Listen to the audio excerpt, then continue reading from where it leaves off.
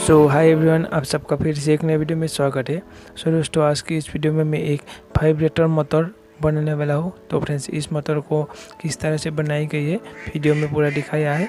तो friends video को and तक ज़रूर देखना। तो चलिए स्टार्ट करता हूँ आज की ये मज़ेदार वीडियो। इसको बनाने के लिए फ्रेंड्स मैं एक नाट का यूज़ करूँगा।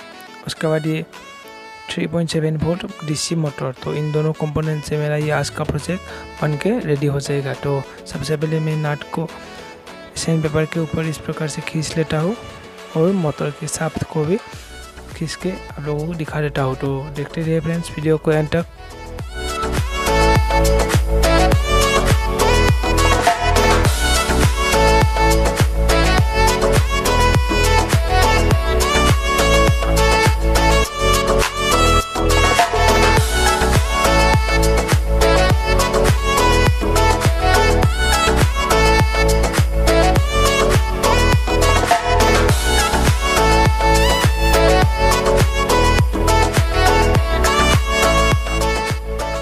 तो फ्रेंड्स, ये सब कुछ हो जाने के बाद मैं इन दोनों को, इस नाट बोल्ट को सुपर ग्लू की मदद से सिप कर देता हूँ। तो देख सकते हो मैं यहाँ पर सुपर ग्लू डाल के मोटर को भी यहाँ पर सिप कर देता हूँ फटाफट से।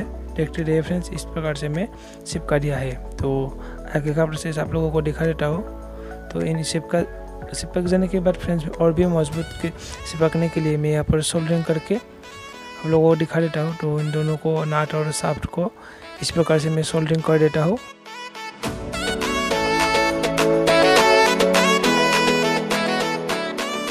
आप हमारे इस चैनल पर नहीं है तो चैनल को सब्सक्राइब करना मत भूलें।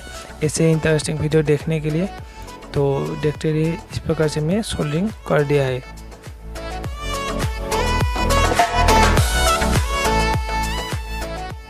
फ्रेंड्स इसको सुपर स्ट्रॉन्गेस्ट बनाने के लिए मैं यहाँ पर इसके ऊपर ग्लू की मदद से या मेरा जो हॉट ग्लू है उसके ऊपर लगा लेता हूँ। तो ये फ्रेंड्स कभी नहीं निकलेगा।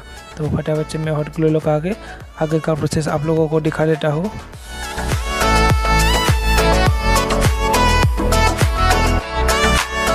तो ये हो जाने के बाद फ्रेंड्स हमारा ये कंप्लीट हो चुका है। तो आप लोगों को मैं एक बार टेस्ट करके दिखा देता हूँ।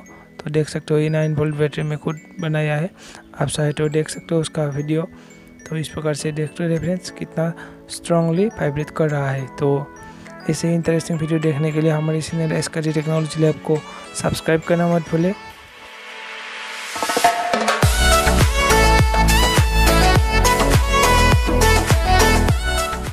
मैं मिलती हूँ आगे की और एक न्यू वीडियो के साथ। तब तक के लिए फ्रेंड्स बाय बाय